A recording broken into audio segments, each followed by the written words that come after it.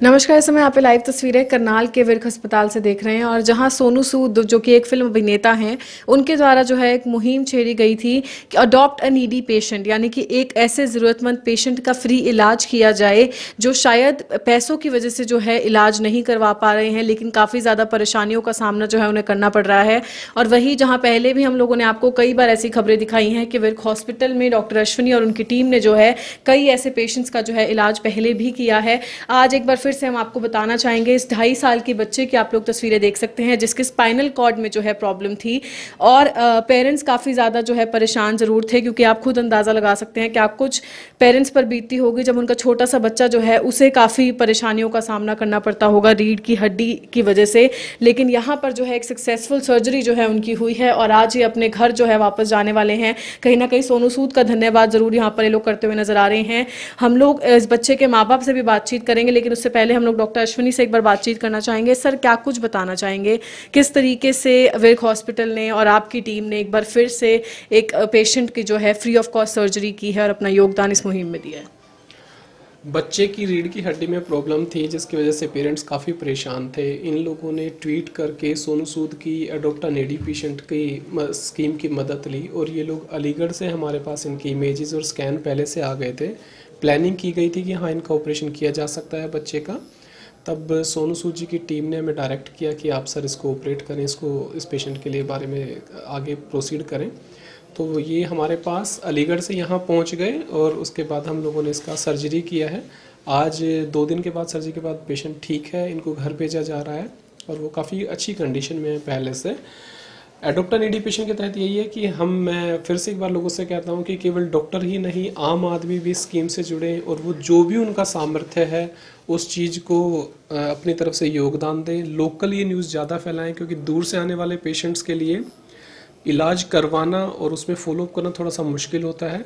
तो सभी लोग इस चीज़ में योगदान दें और इसको शेयर करें ताकि लोकल पेशेंट को हेल्प मिल सके। सर छोटे से बच्चे का इलाज करना इसमें भी कई परेशानियाँ आपको कठिनाइयाँ ज़रूर देखने को मिली होंगी तो उसके बारे में क्या कुछ बताना चाहिए ढाई साल के बच्चे का स्पाइन का ऑपरेशन करना अपने आप में टेक्निकली बहुत चैलेंजिंग था और हमारे एनस्थीजिया के डॉक्टर सुनील शेट्टी सर हैं और उसके अलावा हमारे पीडियाट्रिशियन डॉक्टर बजाज जी ने इसमें काफ़ी मदद की और सक्सेसफुल हम ऑपरेशन कर पाए। बच्चों के ऑपरेशन थोड़े डिफ़िकल्ट होते हैं। पर, लेकिन थैंक्स गॉड वो हो पाया।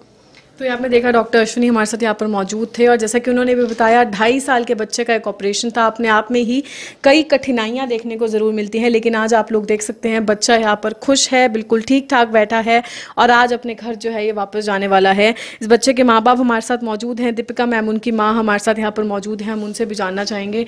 मैम, क्या कुछ बताना चाहेंगे? कब से आपके बच्चे को जो है ये परेशानी थी, और कैसे आप लोग यहाँ तक पहुँचे हैं? क्या कुछ जानकारी? मैं ये जब पैदा हुआ था, तब से ही इसको बाई बर्थ ये प्रॉब्लम थी और मैं बहुत परेशान थी। तब से मैंने बहुत जगह धक्के खाए हैं इस बच्चे को लेके, अपने एम्स में, जहाँ भी मैं दिखाती रही इसको, लेकिन मुझे कोई अच्छा रिस्पॉन्स नहीं मिल पाया किसी का। और उसके बाद मैंने ये जब सोनू सर जी का मुहिम देखा कि ये आगे आ रहे हैं, सब ऐसे लोगों का इलाज करा रहे हैं तो मैंने वहाँ पे ट्वीट डाला और मैंने अपने बच्चे के लिए अपील की कि आप मेरे बच्चे को आगे इसका अच्छी लाइफ के लिए मेरे को मदद करें। तो सोनू सर का बहुत बड़ा हाथ है और अश्वनी सर का इसमें बहुत अच्छा रोल रहा है। उन्होंने मेरे बच्चे को बिल्कुल एक अच्छी लाइफ दी है और आगे मैं चाहती हूँ कि ये अच्छे से चले और फिर ये अपना अच्छी सी लाइफ जिए। तो मैं सबका थैंक यू कहना चाहूँगी और आप सबको भी थैंक यू कहना चाहती हूँ इस चीज़ के लिए। सर आप क्या कुछ बताना चाहेंगे? खुशी महसूस हो रही है कि बच्चा ठीक होकर अपने घर जा रहा है? जी मैं बहुत खुश हूँ कि वो ठीक हो गया है क्योंकि एक हर आदमी के साथ एक परेशानी होती है कि वो अपने रोज़मर्रा की ज़िंदगी काटता है तो चार लाख, पाँच लाख की सर्जरी के लिए अरेंज नहीं कर पाता है। और दो बच्चे हैं मेरे, जिसकी एजुकेशन भी देखनी थी और इसका भी आगे का देखना था और मैं अपनी नौकरी सब छोड़ चुका था।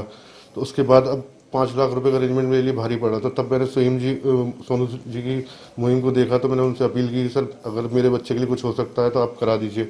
तो उनका ट्वीट आया कि हाँ आपके बच्चे की सर्जरी हम कराएँगे उसको आगे की लाइफ अच्छी दिलवाएँगे।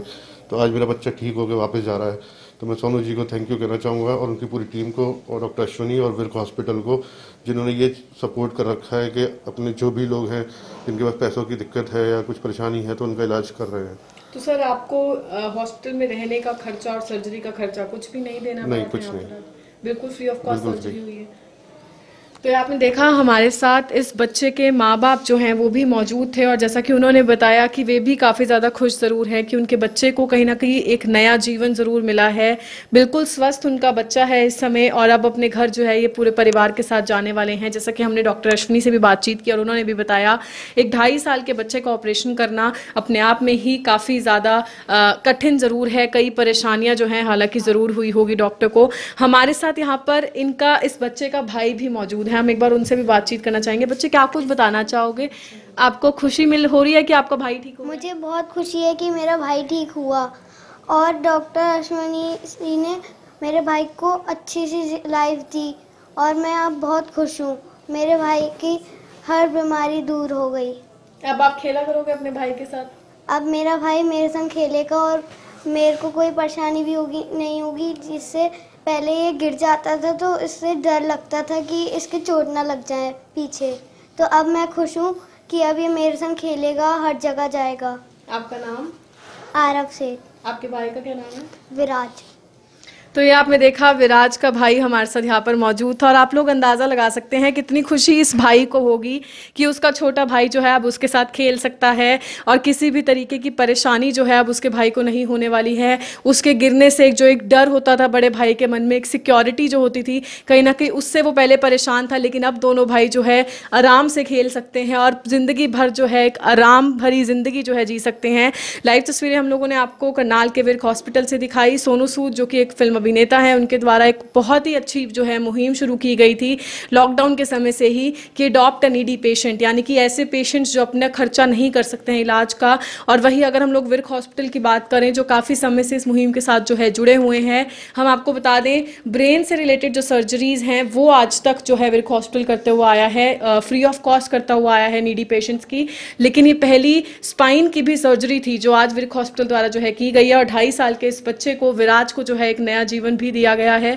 तो हमारी आप लोगों से अपील यही रहेगी, इन तस्वीरों को जितना ज़्यादा हो सके शेयर ज़रूर कीजिएगा, क्योंकि सोनू सूद जी का भी यही कहना है कि अगर हर एक डॉक्टर अपनी जिम्मेवारी को समझ के इस तरीके से एक एक नीडी पेशेंट को जो है अडॉप्ट करता है तो न जाने कितने ऐसे लोगों की जो है लाइफ बचाई जा सकती है, जो शायद पैसों की कमी होने की वजह से अपना इलाज नहीं करवा रहे हैं। तो सभी लोगों तक, सभी डॉक्टर्स तक और आम जनता तक भी ये वीडियो पहुँचे, इसके लिए इसको शेयर ज़रूर कीजिएगा। Urvashi Chawla Karnal breaking news, Karnal.